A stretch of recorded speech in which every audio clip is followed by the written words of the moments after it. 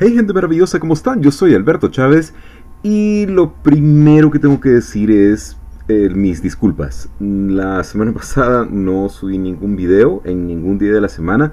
Mis disculpas, realmente he estado pero ocupadísimo. Bastante, bastante, bastante ocupado y pues eso, es un problema tener que ganar dinero cuando... Eh, eh, es un problema ser pobre y tener que ganar dinero. cuando uno quiere hacer este tipo de contenido. Pero bueno, no, ya en serio, eh, de verdad, mis disculpas, pero es eso, he estado bastante, bastante, bastante ocupado. Y hoy, pues, eh, en, unos pocos minutos que tengo, dije yo, hombre, hay que hacer esto. Porque, pues, hay que hacerlo, por supuesto. Y el día de hoy, siendo que, como ustedes se darán cuenta, hay mucho que ya tenemos, mucho, mucho, mucho que ya tenemos pues le vamos a dedicar, vamos a empezar a dedicarle tiempo al texturizado. Vamos a hacer dos cosas. Vamos a dividir esto en dos partes. El texturizado, quiero decirlo, vamos a dividir en dos partes, por decirlo de alguna forma. ¿A qué me refiero?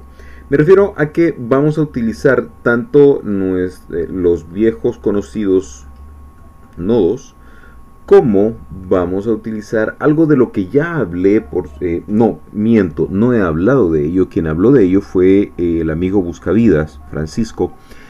Si no ha eh, visto su canal, pues lléguese. Se llama así el canal, Buscavidas. Y ahí él habla de una biblioteca de, de materiales. En realidad, y casi que me atrevería a decir que podemos hacerlo en tres partes. Pero si utilizamos Blender Kit, entiéndase este que tenemos aquí, nos arriesgamos a que la, nuestro archivo sea demasiado pesado. ¿Por qué? Porque precisamente pues los materiales que encontramos en Blender Kit, si usted no ha instalado el add-on, pues no tiene más que hacerlo. Instálelo, bueno, bájelo luego lo instala add-ons, install, busca el lugar en donde lo tenga, le da clic al archivo zip y le da install add-on from file. Dicho esto, pues ya va a tener acá el Blender Kit, que es, créame, eso sí se lo puedo decir, es impresionantemente útil pero los archivos terminan siendo bastante pesados. Eh, algunas veces, bueno, al menos los que yo he probado, pues terminan siendo bastante pesaditos. Bastante, bastante pesaditos. Vea, por ejemplo, solo para, para, para que vea, eh, digamos... Ah, qué difícil. Ok, este. Este de acá. Vea, ahí tenemos. Sin embargo, vuelvo y repito, bueno, eh, eh, lo sé, el color no es precisamente el mejor color del mundo, este es un ejemplo nada más, por supuesto. Pero vuelvo y repito, esto puede convertir a nuestra a nuestro archivo demasiado pesado y no vale la pena, ¿sí? Así que esto era nada más que una muestra de qué es lo que puede hacer. Aquí, Blender Kit, se va a instalar en la barra de herramientas de la derecha, no tiene más que presionar la letra N y pues darle clic a la pestaña que dice Blender Kit. Y ahora que lo medito, ahí está el monitor de teclado y ratón como siempre. Ok, suficiente de hablar, ¿sí? ya basta. Vamos a, por supuesto, vamos a darle a esto la, ciertos materiales típicos y bueno, lo primero es irnos a nuestro... Ya tenemos, ya construí un material de vidrio, un material de vidrio tremendísimamente básico. Como se dará cuenta, solo es un transmission al 100% y un índice de refracción de 1.3. Nada más, ¿sí? No he hecho más nada. No lo estoy traicionando, eso es lo que quería que se vieran los asientos por dentro. Nada más, ¿sí? Va a disculpar.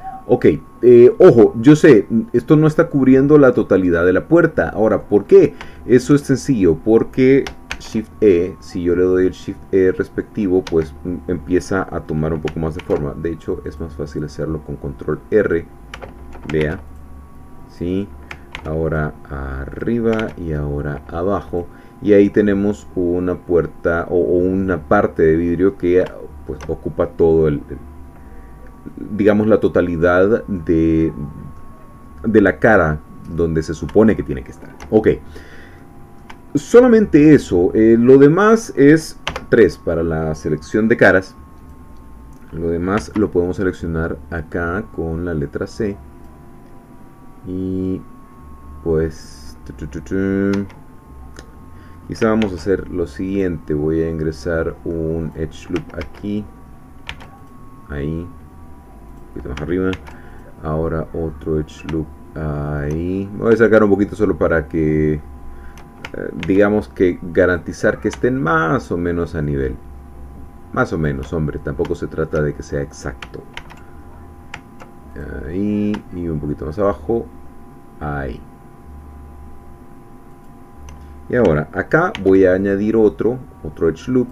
Voy a ir a 1 para la selección de vértices y voy a empezar hacer G dos veces para subir sobre los normales y llegar hasta aquí ok ahora sí no voy a texturizarlo todo en este video que conste 3 para la selección de caras porque, porque no, porque sería demasiado.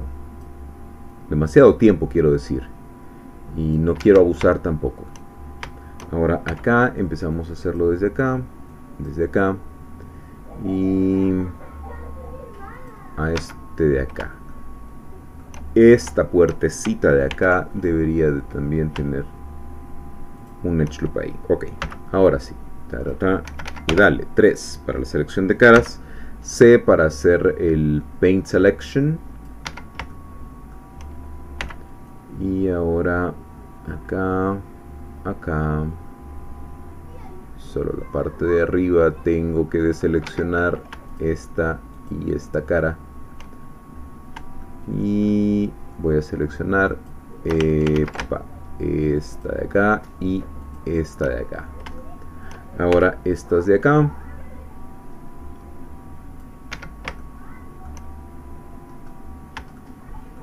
y estas de acá. Sí, ya sé, ya sé.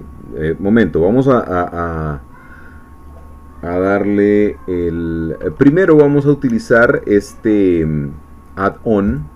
Vea, se llama Material, Library VX.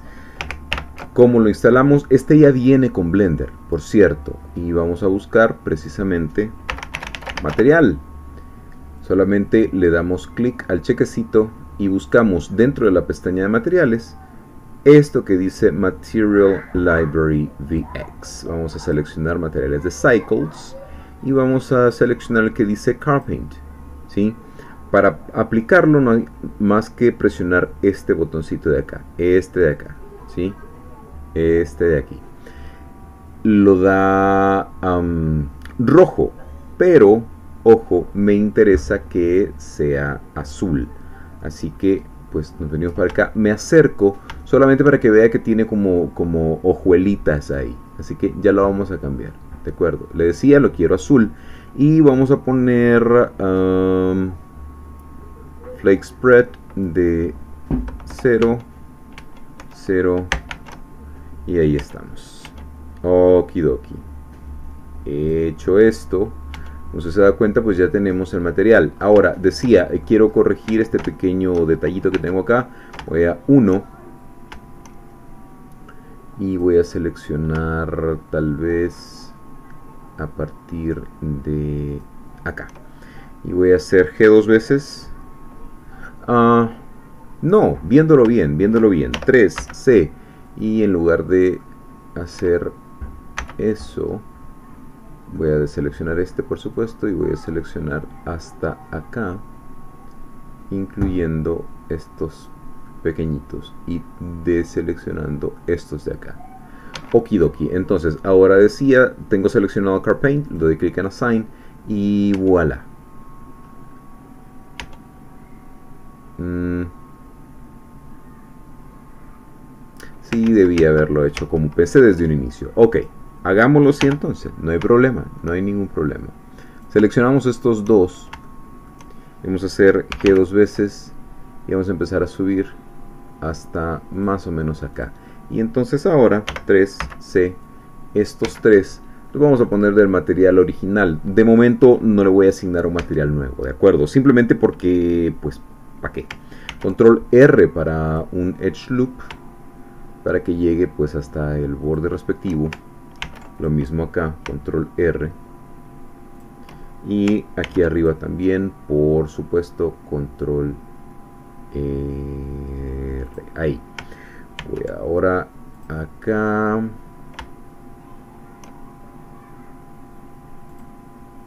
Ahí y ahora control R aquí para subir tal vez no tanto más o menos por ahí mire nomás ¿qué le parece a usted? ah maravilloso ¿no le parece? ok precisamente lo que queríamos hacer esta es prácticamente eh, este es nuestro primer material dentro eh, de la pintura del autobús. Repito, ¿qué hice? Simplemente seleccionar Carpaint. Ahora, si vamos a ver, este Carpaint obviamente es un grupo y aquí está pues todo lo que conforma dicho grupo. Hay un layer weight, hay un Fresnel, hay gamma, Voronoi texture, group input, etcétera, etcétera, etcétera. Bueno, el group input que obviamente pues es eso que tenemos acá. Em, hay un eh, nodo de matemáticas eh, con la opción de elevación a un exponente determinado, hay un diffuse, hay un glossy, hay también hay más nodos de matemática, uno de multiply y uno de add, un divide, etcétera, etcétera. De acuerdo, no nos vamos a poner a hablar de ello en estos momentos, sobre todo porque si quiere ver un poquito más de nodos, hay una serie que publico los miércoles de consejos rápidos en la cual estamos hablando de nodos. Ok, no más, basta. Esto es nada más una muestra de cómo se puede hacer. Hay un montón, pero montón, montón, montón de materiales como usted se dará cuenta, ¿sí? Mm, no lo vamos a ver cada uno de ellos. Si usted quiere ver cada uno de ellos, pues se repito, al canal de Buscavidas.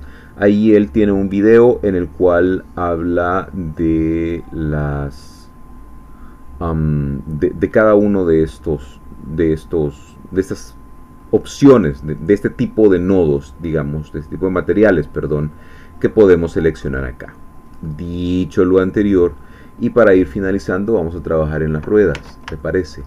Vamos a seleccionar uno, vamos a hacer L. Ahora vamos a seleccionar uno de acá y vamos a hacer L.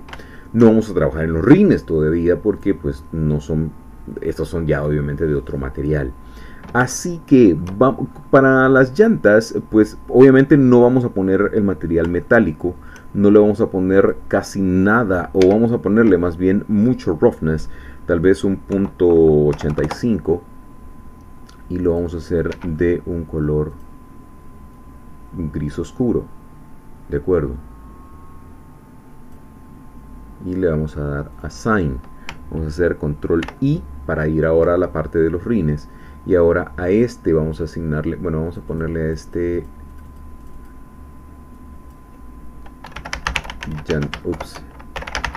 llantas. Y al siguiente le vamos a llamar